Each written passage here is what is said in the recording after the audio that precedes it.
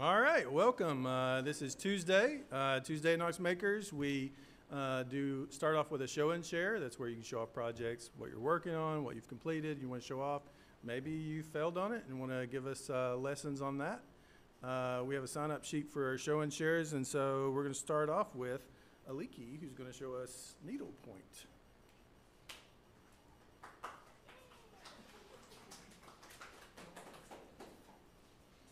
So apparently, I've been needle pointing so much in the audience that I've been asked to do more needle pointing as a show and share. So, um, as John Dale stated, my name is Aliki, and if you don't know, that's really, really, really Greek. Um, so I'm named after several grandparents, and uh, when you're Greek, and I used to spend my summers in Greece, uh, you're not allowed to grow up without knowing how to do at least seven different kinds of needlework, or you will fail as a grown-up, apparently. Uh, I failed at cooking, so I really hit the needling hard because I can't cook. Uh, thankfully, Joe can. So the one that I'm working on right now, which is what you guys have been seeing, is um, this one's for me. And I'm trying to make it to where you can't see right through it because obviously most of it's not done.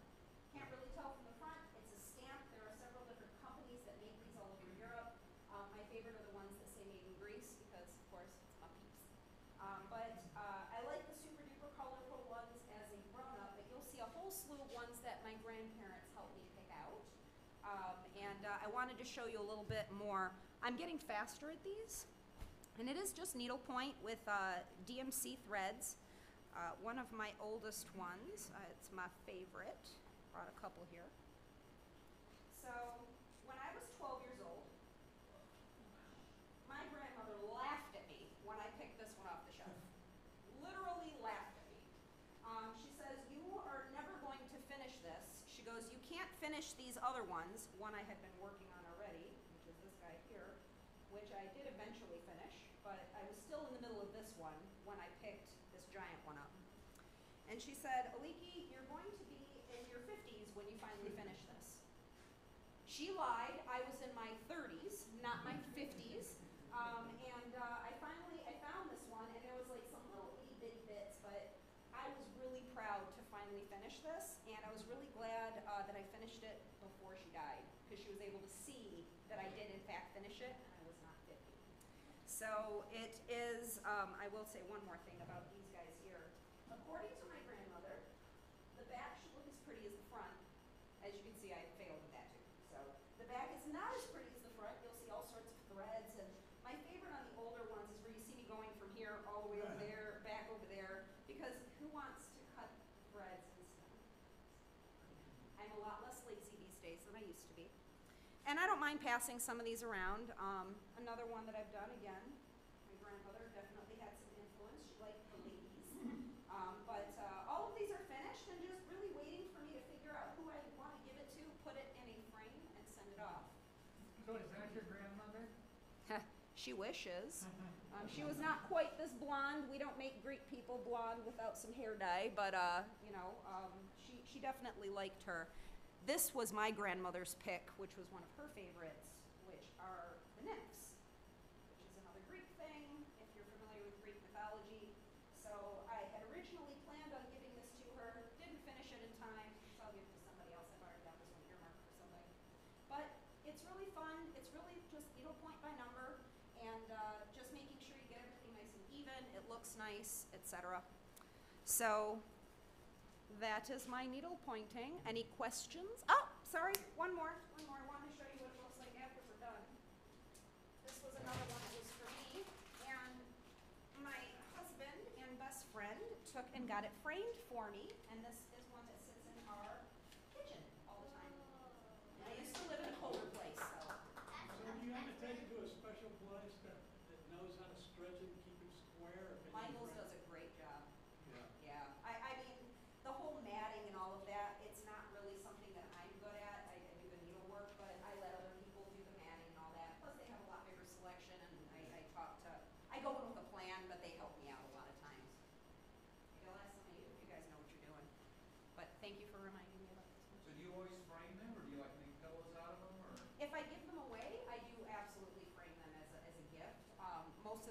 sit um, in kind of uh, folded piles waiting for me to figure out who I want to give one to.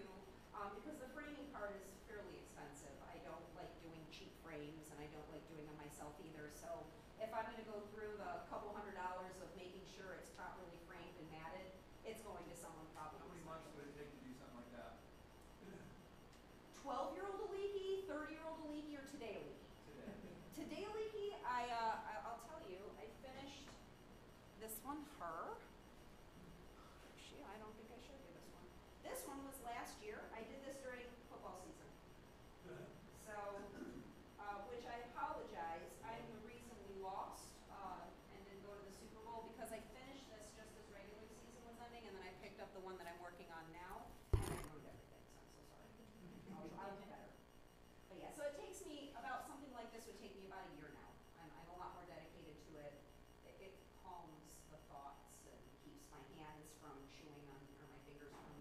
on, so it's a really good, keep your hands busy, but your brain moving.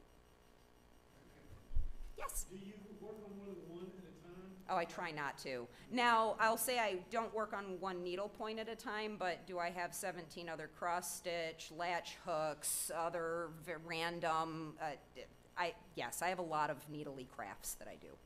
What's the difference between needlepoint and cross stitch? Cross stitch is a different kind of stitch where you're trying to make the X, and there's a specific pattern that you can follow, where a needle point, which I will turn around and let you start passing one of those around, you'll notice that it's not an X, it's just one half of it. I use the entire DMC thread, so I don't take and separate it out. For some of the thinner, like this is actually a really small weave on the needlepoint canvas, and technically I should be removing some of the threads to do it if I can hear my grandmother yelling at me in the background. Um, but we don't do that because I like making sure it looks really thick so you can't see through it. Um, and to me, it, it makes a more vibrant needlepoint when it's done. I don't want to see the holes, but uh, a lot of times the stamped cross stitch is a little boring for me for some reason, though doing just going through the two holes works fine. So I don't know. I think I like the fact that there I buy the canvases because I have about seven or eight undone canvases that are waiting for me. Excellent. Any other questions? Okey doke. Thank you very much.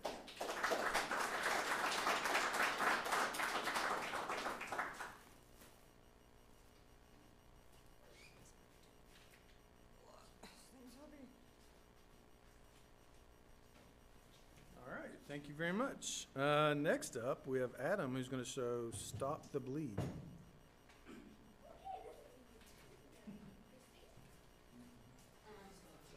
Also, I'd like to introduce my lovely assistant Nada, and my fiance.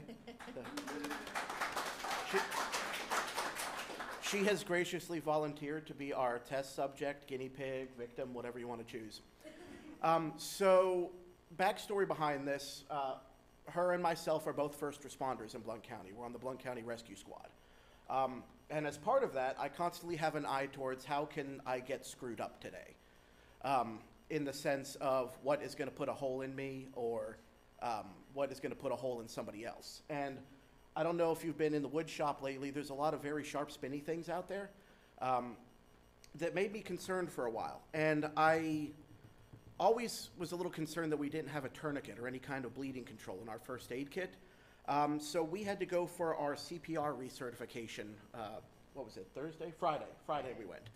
Um, and our instructor uh, has a little store he sets up uh, just to try to milk every penny out of us.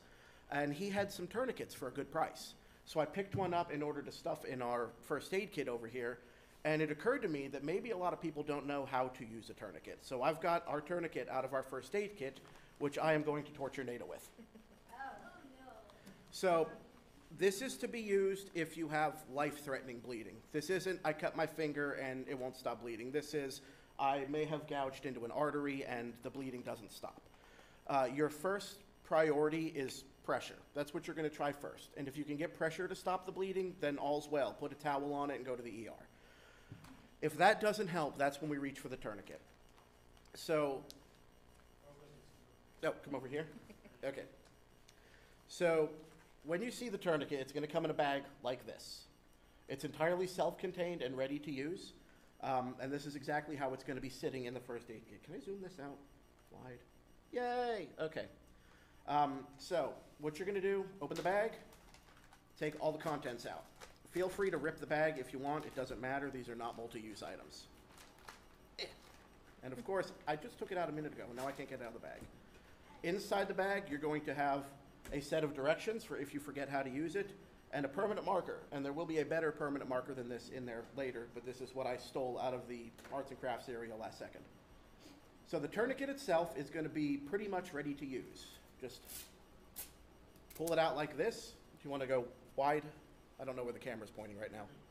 Okay, so like this, you'll see there's a red handle on it. Red is where you're gonna be using it from. So let's say Nada cut her arm there. All right, come over here. Come over to the side so we can see. Okay. Are we on camera here? You were, you were good right We were good there, okay. No. So, be taller. Here, stand, can we stand on this box? I'll just, Uh, be tall. So what you're gonna do is, if your cut is here, you're always gonna place the tourniquet on the limb above the cut.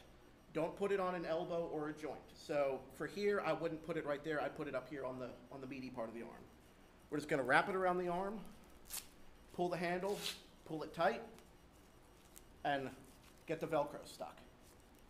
So now you see we've got this plastic bit here, and there's a little white piece of Velcro that covers it. Pull the white Velcro out, and you're going to turn this. I'm not gonna do it to her, because it's gonna hurt like a, like a lot. Um, but what this is gonna do is it's gonna cinch down the tourniquet on that limb. You're gonna keep turning this until the bleeding stops. And if you're doing this on yourself, you're gonna have a bad time, but you gotta do it.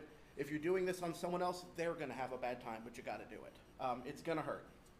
Once you get it cinched down to the point where the bleeding stops, you hook the, the plastic in there, wrap the white part back around, take the permanent marker, and write the time you put the tourniquet on, on the white part. And then you go to the ER or call 911.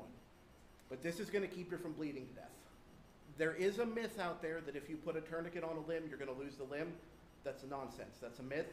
People have worn tourniquets for hours, been just fine. And if it, even worst case scenario, if it came down to it, you're looking at, you know, losing a hand versus losing your life. So, anyway, that's how that works. And then, just as a reminder, we do have directions in the bag if you forget how to use it. Here, I'll, I'll wrap it back up, and I'll pass this around so you can get a feel for it. Sure. yes. What's your thoughts on Israeli bandages? Israeli bandages are good, but they're good for point injuries. So if I were to run my arm across a bandsaw or something, I wouldn't use an Israeli bandage for that. That's more for like, I got stabbed, I got shot, something like that, where you have a single point of entry, injury, because what it does is it puts pressure right there on that spot, and then you wrap it up real tight. Um, so that's good. I, I don't know that it would be useful here, because near as I tell, there's not a lot of handguns going off. Um, but if you were like looking at a bug out bag or something where you want to carry emergency supplies, it might be a good idea to stuff one in there because they're cheap. Anything? We have a kit, uh, first aid kit and a first aid that you might want to do. Oh, okay. Yeah, we should put one in there. Do you want a tourniquet out there too? I can probably get another one. All right. Okay, and I'll pass this around. Feel free to look at the directions, and she stole them.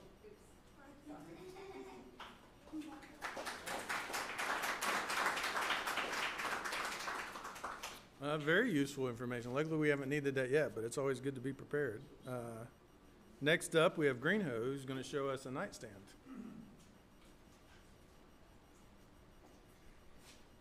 Hey guys. So, I think it's like almost a year ago now. I made this bed. Let's zoom in on this, and I think I, I went in depth on this thing.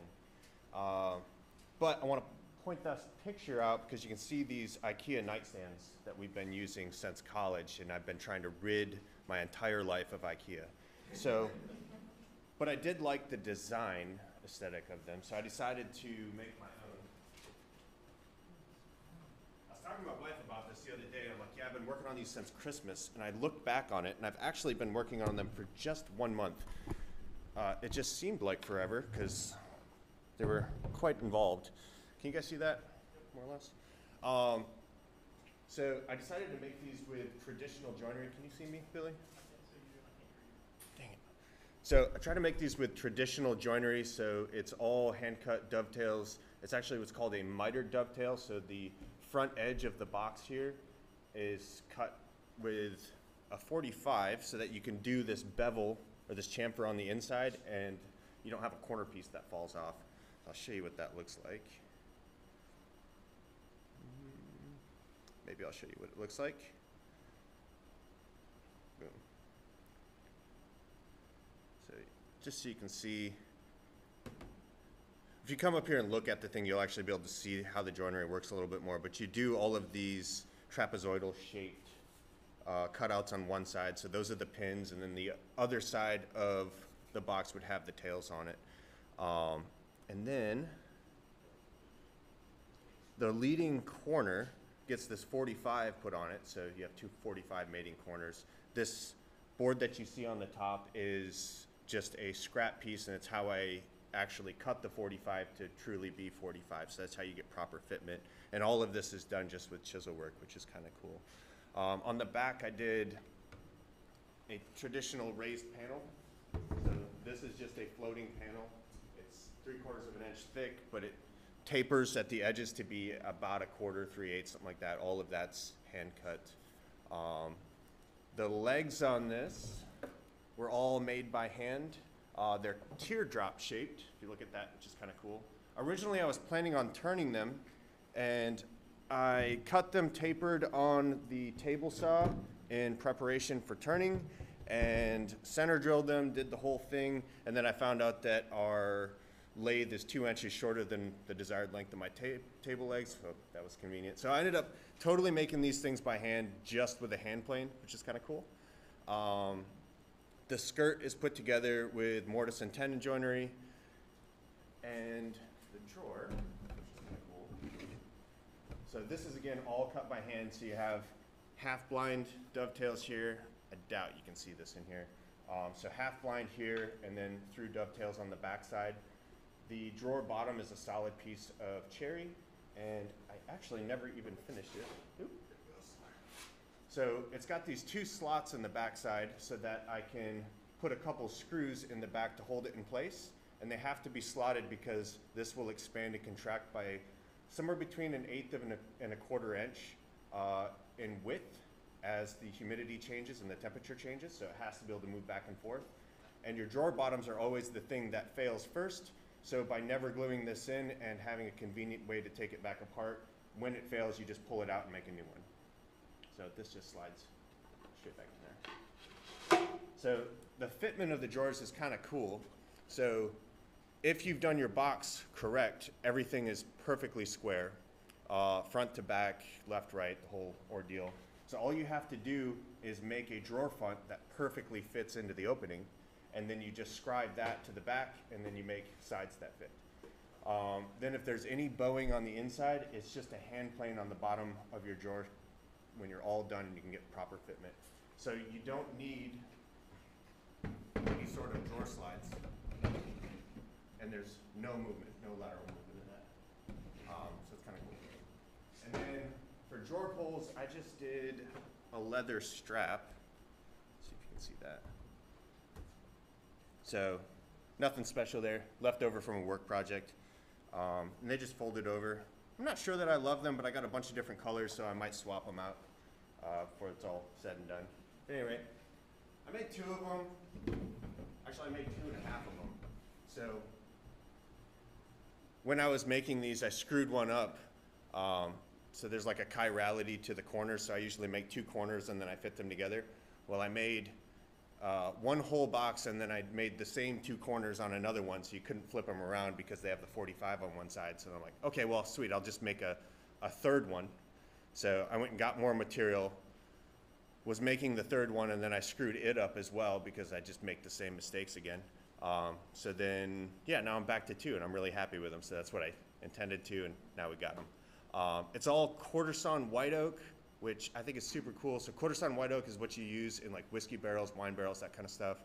Um, it looks really sweet because it'll look tiger striped. If I turn this up, see that. Uh, and the tiger striping that you see, so you'll see there's like grain pattern across it here. That's like the rings of the tree. And then all the tiger striping is what's called medullary rays. So they go from the outside of the tree to the center. And you only can see those when you have quarter sawn lumber. Uh, and I just think it looks wildly awesome. Uh, so I always try to use it. Um, on the sides, last thing I'll show you here. On the sides, you can see them a lot better than anywhere else. Uh, you'll see a little faint mark, uh, top and bottom here. Uh, those are the layout lines, so they're how I know where to cut, where to chisel to, everything like that. You can plane them off to remove them, but I just like them as a maker's touch, so I always leave them. So it just demonstrates and showcases that it was made by hand. Um, yeah, that's what they are.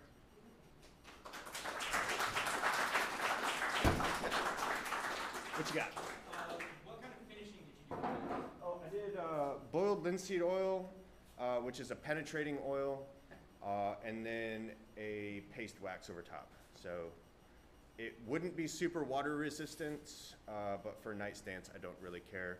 Uh, and it's a really fast finishing project. So if you wanted to do a table or something like that, you'd probably want uh, like a tung oil or something that's naturally water resistant.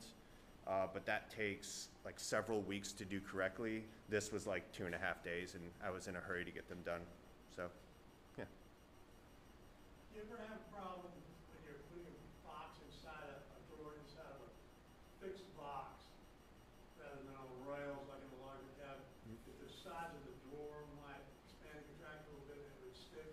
Yeah, um, it, they always grow when you finish them, especially when you're using a penetrating oil, uh, which is why I always leave the bottom able to be planed back off. So this one, if you look at it, the bottoms of the drawers are, uh, they look a little bit different than everything else. It's because I had to do two or three passes with a hand plane after I had finished it. So it, it fit, I finished it, it no longer fit, a couple passes. You know, you're taking a thousandths of an inch at a time, so you can really uh, hone in on that, like exact fitment that you want.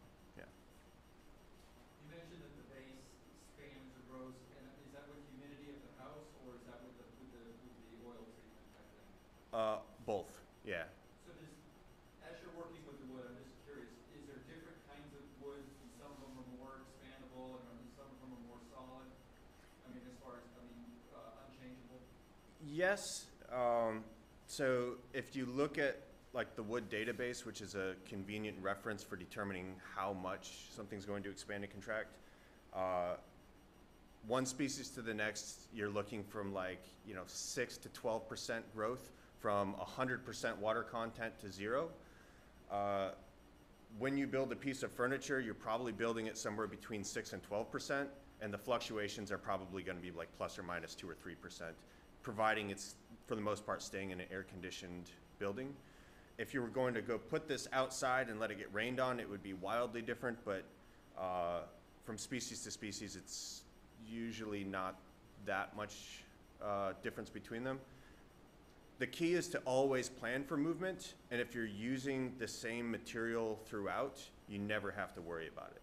So something like this, if you plan for it to grow a quarter inch, it'll probably grow an eighth of an inch and you're fine. And then your joints, they're, they're okay, it's not gonna like that movement's gonna mess your joints up? Well, because the grain is all oriented in the same direction, so they're all expanding and contracting across the grain, and you have cross grain to cross grain. If you'd, if you'd have somehow figured out how to do this cross grain to end grain, it would destroy itself within a week, probably. Yeah. Yeah, sweet.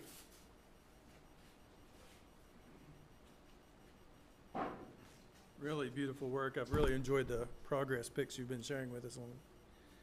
Uh, that's all I have for the sign up. Does anybody else bring anything and get, and get on the list?